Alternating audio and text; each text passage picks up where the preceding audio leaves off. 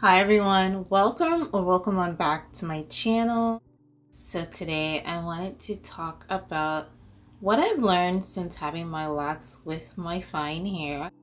And I know there's so many different opinions about locks, especially if you don't have a certain density.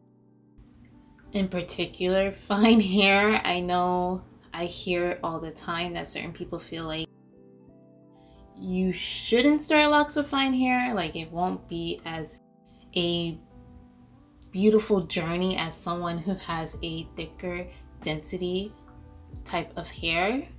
I just wanted to talk about my experience. I am no expert. I am just saying my opinions on my journey. So I know this could be wrong or this may not be for everyone who does have fine hair and who has locks and who is on a lock journey. I would say it's it's looked down upon, I want to say. When you have this type of texture, I don't know why because we all can't be the same. That's just would be a boring world. you know, we all would look the same we all had the same type of hair texture and everything like that. But I feel like when you have fine hair, you have to have a level of confidence with it because no, it may not perform as well or look a certain way as a thicker texture, but that definitely doesn't mean you can't have a successful journey. So, one thing I would say I've learned so far is how often should you retwist when you have fine hair? Now, I hear so many different opinions about it, and to each his own. I feel like it's something you definitely have to gauge on your own. But for me, with my fine hair, I find that I need to retwist more often and I tried to do the whole let me wait eight weeks, let me try to make it to two months, let me try to make it to three months. But I find it to be more difficult, and I find that my hair doesn't perform as well when I try to prolong my retwist. Since my hair is fine, I find that it tangles more.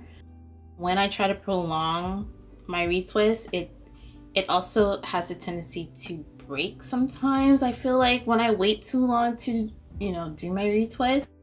Now, of course, I do have color, so I know that is damaging to my hair.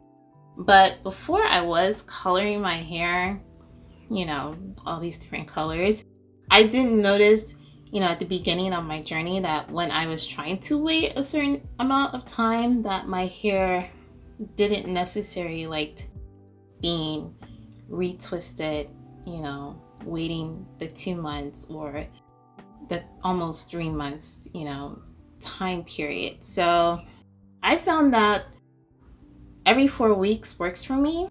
Sometimes it's every three weeks. It depends on the month and how I'm feeling. But I know some people even do every two weeks. And I feel like that would be too much for me. But if it works for you, it works for you. I mean, you are on a journey, so it's just not the journey of, you know, your hair being in a certain way or a certain look, like having locks. It is a process of you learning your hair. So, on this journey, I've learned that my hair can only take so much of not being retwisted. So, every four weeks works for me. Another thing I've noticed on my lock journey is the aging of your locks and how they look. Now, I've heard different things before starting my lock journey. I've heard that as time goes on, your locks may thicken. I've heard that. And I've heard that also your locks could thin out, you know, as they condense themselves, as they constrict, as they get tighter, you could end up with a smaller lock than what you anticipated. And I feel like on my journey, I'm noticing that they are not getting thicker in my opinion. They are condensing and getting smaller. Now, I know that me coloring my hair can contribute to that also, so that is probably also a factor. But I also feel like because I have fine hair, my hair is constricting and shrinking down. Now, I know when I was a loose natural, it was kind of like depending on what style I did, my hair either appeared a little thicker or it appeared thinner, you know? So now that it's in this lock state, I feel like you know, I can't fluff it out. I I don't have my individual strands to kind of camouflage here and there. I kind of have to work with whatever my locks are giving. And right now they're giving that they are shrinking, in my opinion. So I know that could bother some people because maybe you're starting this journey or you're at the beginning of the journey and you want a particular look with your locks. But I've noticed that on my journey, that may go out the window because your locks may give you a completely different look, especially when you have fine hair because the strands are, are thinner, they're smaller, so they're not going to give super thickness. You know, they might because I've also seen it be the complete opposite. And some people with fine hair, their hair does thicken up and it looks completely different from when they started. So I say it depends on your hair texture. It depends on your journey. You know, what are you doing to your hair? So it can go either way. So another thing with having fine hair locks is volume. So of course now your strands are and these individual locks. So if you want volume with your hair, you're going to have to curl them. So as you can see, one of my favorite styles to do on my hair is a braid out. And I love the braid out because it does give volume.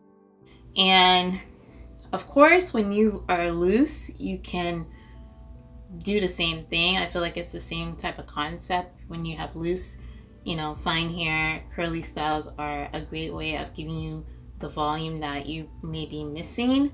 But I feel like it, it definitely makes a difference when you have locks because, like I said, my locks are condensing down, they're shrinking down. So I feel like when I do want a little bit more umph, when I want a little bit more volume, the curlier styles, the twists, or the braid outs are what I usually go for to give me the volume that I feel like I want at that time. Now, that doesn't necessarily mean I hate my hair being straight. I absolutely love my straight hair with my locks. You know, I like when my locks are straight, but I do like to switch it up and I do like the volume that it does give, the fullness that it, it looks when you do have some type of texture with your locks.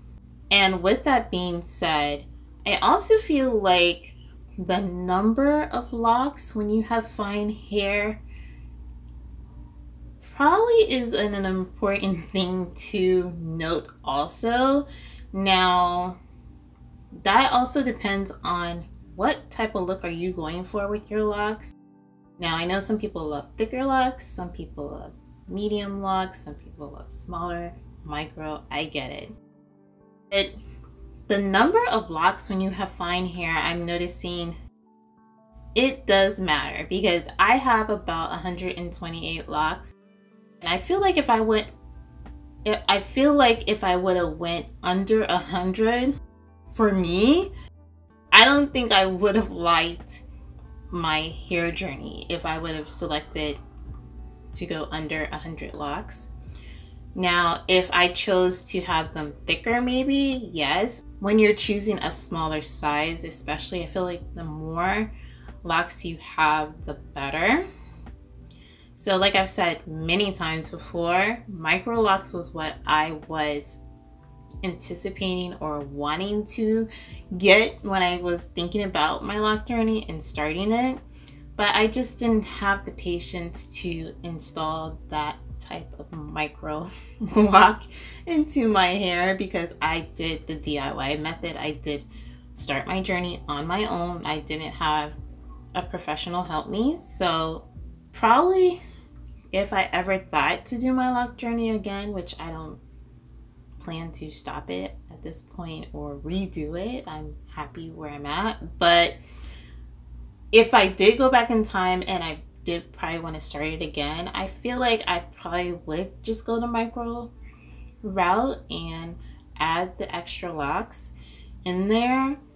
And I would like to see, you know, how that journey would have went, you know, if I were to do it again. Maybe I would consider just going ahead and doing micros, but of course, I feel like I would definitely get it professionally done because I don't think I have the capacity to maintain that on my own. And one of the last things I would say I've noticed on my lock journey is since it is a thinner density, a finer texture with fine hair, your hair is more sensitive. Now, I know that sounds silly because you have fine hair before you started your lock journey, so that's the obvious. You should already know that.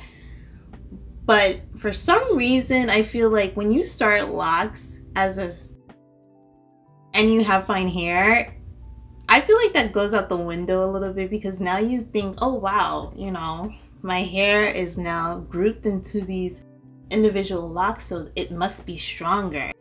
At least that's what I thought. I'm going to be honest. I don't know why I just assumed that my hair was like a superhero. You know, it just it can withstand anything at this point because now it's locked. But to each his own. I had to learn, you know, going on this journey that you can do things to your hair and of course if you don't see anything happening immediately it doesn't mean that it's not damaging or it's not sensitive because it is but now that it's locked i feel like over time things happen slowly. So for me, if I colored my hair as a loose natural and I messed it up, I immediately see that, oh my god, I messed up my hair. I bleached it, I burnt it off. Fine, you know, I'll cut it and regrow it back. I don't care. You know, I've done that many times as a loose natural, but I feel like when I got on this journey with my locks, I didn't see immediate damage, so I just automatically assumed, okay, I'm good, you know? But of course, if you've seen my last update, I'm noticing that, yeah, the color is now start starting to show its its skin or its head, you know, and I'm now seeing that okay, yeah, the damage is now showing up, you know, and I'm what, almost three years in, you know? And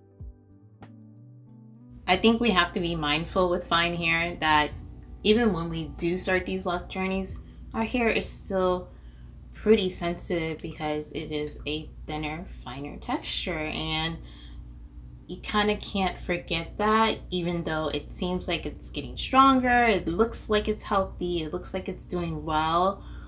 But you know, over time that may change, and you just need to be aware of what you're using, what you're doing to it and if you are coloring it, if that's the route you choose, the consequences of what could and could not happen. So, of course, I'm on that journey now of learning those types of things, but I definitely feel like I, I definitely took advantage of what my hair could and could not handle with it being now locked and forgetting that, you know, I still have fine hair, so I can't do backflips and do all these types of things that I probably see other people with thicker textures do.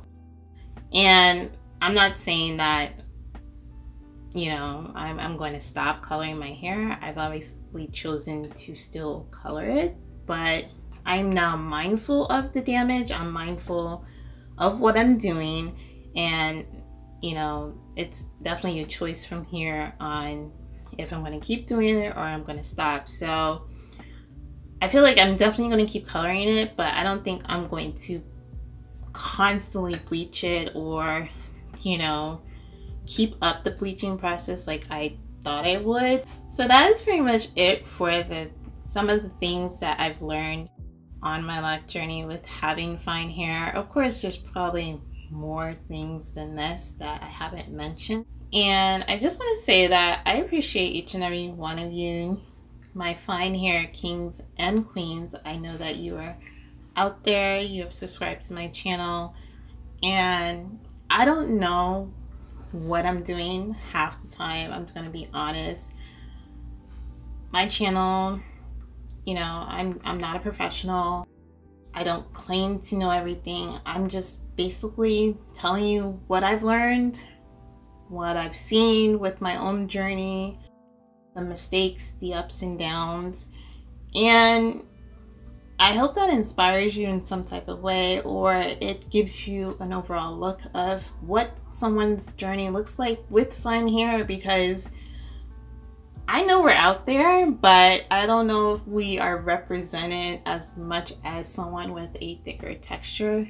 So I know when I started my journey, I was looking for someone who had hair like me and, you know, what do you do with it? How you take care of it, you know? And not to say that watching someone with a thicker texture, you can't learn that either, but it does help you to see someone who's in your seat or who's in your footsteps, so to speak, who has that same type of texture because it is a different journey to work with. Those of you that do comment and tell me I've helped you or Tell me you're happy that I'm making videos so you can see someone that's similar to your own texture. It's very encouraging because honestly, half the time I don't know what to post.